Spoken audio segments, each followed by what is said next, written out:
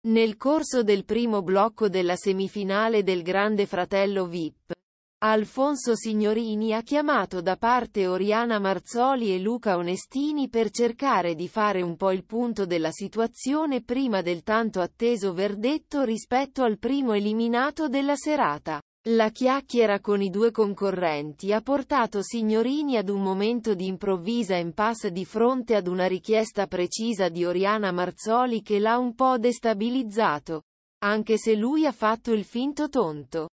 Ad un certo punto, infatti, Oriana Marzoli ha commentato, con tono lamentoso, non mi avete fatto vedere neanche una clip di lui, parlando di Daniele Dalmoro e costringendo così Signorini ad un silenzio obbligato visto e considerato che il conduttore sapeva la verità ma non poteva esprimersi più di tanto nel merito della questione. La decisione di non mandare in onda un videomessaggio di Daniele Dalmoro dedicato ad Oriana non è infatti una scelta della produzione, ma deriva da una precisa strategia dell'imprenditore di non registrare nessuna clip. Il motivo è ovvio ed è stato spiegato dallo stesso ex Vippone che è stato cacciato dalla casa dopo un comportamento inaccettabile avuto nei confronti della stessa Oriana, che durante una discussione aveva aggredito, seppure in modo scherzoso. Daniele Dalmoro non se n'è andato dal reality con il sorriso stampato sulla faccia ma,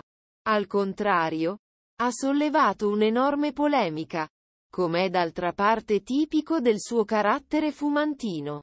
In un post Instagram pubblicato poco dopo la sua cacciata. A proposito, Daniele Dalmoro aveva spiegato di non aver voluto registrare alcunché per la trasmissione per evitare che qualunque sua dichiarazione fosse in qualche modo strumentalizzata. Il suo obiettivo, come d'altra parte era anche nel caso di Donna Maria, era in realtà quello di essere presente in studio per dire la sua ma a causa del rigido regolamento questo non avrebbe potuto essere possibile.